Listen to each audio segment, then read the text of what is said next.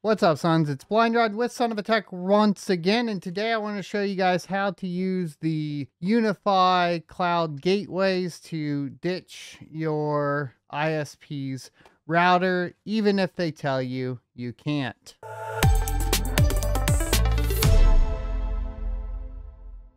So welcome to the channel. If this is your first time, I usually talk about cryptocurrency, etc but part of mining cryptocurrency is setting up a robust home network. There are a lot of ISPs that will basically tell you that you have to use their router. And luckily, there are a couple settings within the unified cloud gateways from Ubiquiti that can allow you to bypass this in particular. Now, a few things you'll need is going to be your ISP's configuration. I recommend utilizing a dedicated IP if they do offer that for this setup because it'll make it a lot easier. If you do have an ISP that is basically utilizing any other form of dynamic, you'll have to look up some other configurations with UniFi. Of course, this is for going to be for static. Now, to find the information, I don't uh, any longer have this router plugged up. So I'm just going to tell you, depending on your router, it's going to change, but it should be under something called like internet. And from there, you can find your public IP, your public subnet, which you'll need, and your public gateway. As long as you have those three things, you should be able to move forward. The final thing that you'll need that's really important is going to be the MAC address. You can either find the MAC address on the router itself or in the About tab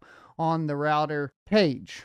So those are a couple different ways that you can find it. Once you have that, you can move on over to the unified gateway and you can come down to your settings and click the internet button. Select the primary WAN that you want to make the changes to.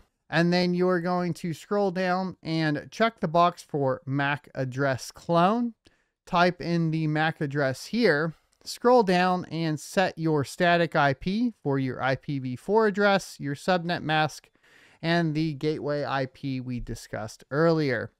Once all of those things are set, you can basically just apply the settings, save, and then luckily at this point, you can trash this router. So if you have any questions, let me know in the comment section below.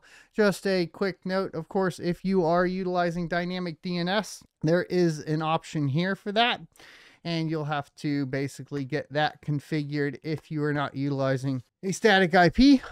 And uh, I don't have the particulars on that setup right now because that is not my current setup. So I don't know exactly what that looks like. But I hope you found this helpful. Be sure to hit the like, comment, subscribe, and notification bell down below. And I'll see you next Tuesday.